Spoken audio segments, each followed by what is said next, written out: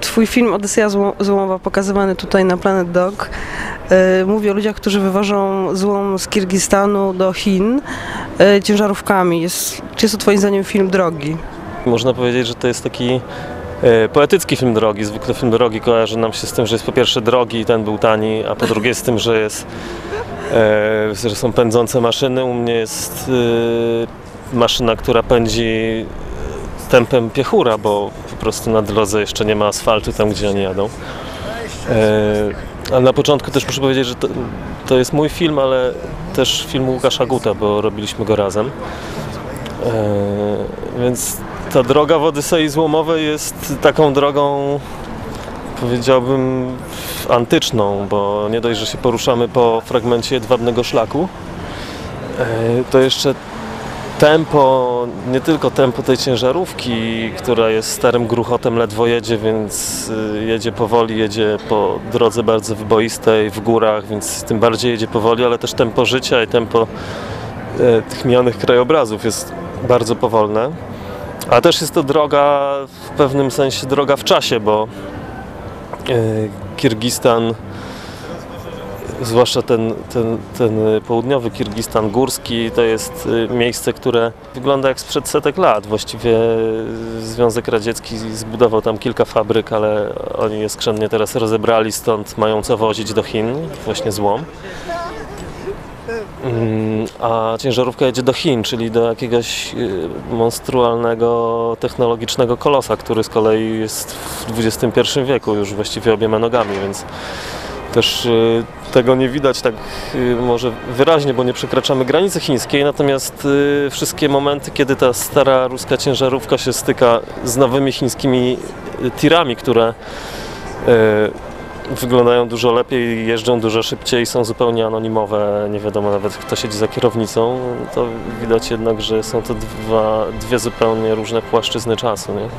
Nie mogliście wjechać do Chin, czy taki był zamysł? Udało nam się tam wjechać. Yy, To że, to, że Chin nie ma, jest po prostu decyzją reżyserską. Woleliśmy pokazać coś, co czai się za rogiem, czemu może nie zajrzymy w oczy, ale możemy sobie to wyobrazić, tak jak się czuje, nie wiem, o, zimny oddech na plecach, który czasami jest bardziej przerażający niż to, co zobaczymy, jak odwrócimy wzrok. Więc specjalnie tak zrobiliśmy, że film kończy się po prostu na granicy i to, co jest dalej, to może jest temat na inną opowieść, a może to jest temat, który wszyscy dobrze znają ze sklepów po prostu.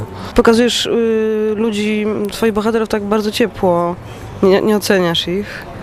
No na przykład jest duża, duża scena, gdzie mój bohater przeklina na czym świat stoi i, yy, i mówi, że, że trzeba by wskrzesić, wskrzesić Stalina, żeby wszystkich porozstrzelał, bo jest taki bajzel, że on nie, odnajduje się już w tym.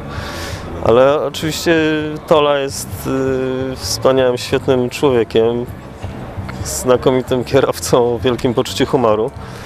Yy, i, i spędzenie z nim prawie dwóch tygodni w tej podróży było czystą przyjemnością. Tak samo zresztą jak wszystkich ludzi, których spotykaliśmy e, po drodze, bo operowaliśmy w takim rejonie, gdzie ludzie może nie mają dużo pieniędzy, ale mają dużo czasu, mają dużo ciepła, żyją w wielopokoleniowych rodzinach i zawsze, zawsze znajdą czas na porozmawianie, na poczęstowanie obiadem, przenocowanie i tak dalej.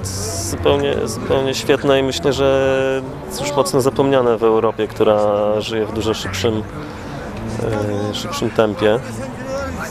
Mm, Nawet e, spotykani policjanci, czy też e, pułkownik OMON-u, którego spotkaliśmy na granicy, wyjął butelkę wódki, zamknął szlaban graniczny, bo akurat pilnował przejścia i przez dwie godziny była kolejka na granicy, bo my piliśmy z nim wódkę w środku dnia i są właśnie takie świetne mikrohistorie ludzkie, które właśnie chciałem uchwycić w tym filmie, bo, bo to nie jest film tylko o jakiejś zmianie geopolitycznej, ale przede wszystkim o ludziach, którzy wewnątrz tego funkcjonują i być może zdaje nam się, że są po tej gorszej stronie granicy, ale jednak bycie po tej gorszej stronie ma swoje wielkie zalety, takie właśnie czysto ludzkie. W konkursie w Gdyni pokazywany jest film Ki Leszka Dawida, który jest oparty na twoim scenariuszu. E, Widziałeś film pewnie. Jak się konfrontuje mm, własny tekst z tym, co jest później na ekranie, zinterpretowany przez kogoś innego? Ja chcę to obejrzeć w kinie z publicznością, bo ja to widziałem na jakichś pokazach zamknięty. Oczywiście ma się wrażenie, że to nie jest to, co się na- napisało. Taka jest praca scenarzysty po prostu. Potem reżyser robi z, z tekstu to, co mu podpowiada, nie wiem, intuicja, wrażliwość, jego własny talent i reżyserski sznyt. Ja akurat się cieszę, że to trafiło w ręce Leszka Dawida, który myślę, że jest bardzo, bardzo wrażliwym reżyserem, obserwatorem i ten tekst, y, który był dosyć buntowniczy i starał się prze, przełamywać pewne granice tabu, przełożony na ekran, on stał się dużo bardziej cichy, z czym się na początku trudno mi było zgodzić, ale też w tej ciszy są, y, są bardzo fajne, małe rzeczy.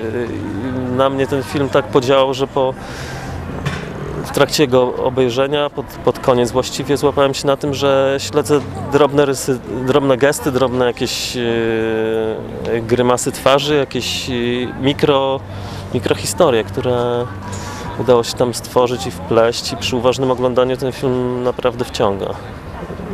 Poza tym został wybrany do Gdyni, co też jest naszym wspólnym sukcesem i bardzo się z tego cieszymy. Planujesz teraz jak pisanie innych scenariuszy albo reżyserowanie filmów? Yy, Napisałem jeden scenariusz, ale trudno mi znaleźć producenta w Polsce, bo to jest film psychologiczny, ale z elementami horroru i to jeszcze ze zdjęciami poza Polską, a nawet Europą. No także cały czas szukam producenta, a tekst jeszcze jeszcze yy, myślę nad poprawkami, chociaż już yy, tekst yy, zdobył nagrodę na Inter- Interscenario we Wrocławiu, więc został doceniony. A ponieważ złapałem się na tym, że wszystkie rzeczy, które próbuję napisać, zrobić albo piszę i robię są bardzo ambitne, trudne i całymi latami właściwie muszę pracować nad tym, żeby ktoś się nimi zainteresował. Potem robię to i potem montuję długo i wszystko to zabiera strasznie dużo znoju, czasu i nie zawsze się udaje, więc zacząłem pisać komedię teraz. Roboczy tytuł to jest y, Tempak i Tampax na tropie pępka świata. To będzie komedia charakterów. Te charaktery będą takie, z jakich lubimy się zwykle śmiać, bo gdzieś tam sami jesteśmy do nich podobni i rzadko się do tego przyznajemy. E, Wiem, że komedię jest dosyć łatwo sprzedać. Oczywiście nigdy nie dopuszczę do tego, żeby mi było zbyt łatwo, więc tutaj też są utrudnienia. W tej komedii po prostu będę się starał obrazić wszystkich z prawej do lewej, z góry w dół, wszystkie grupy społeczne, nie wyłączając mm, właściwie nikogo, nie wyłączając samego siebie może nawet.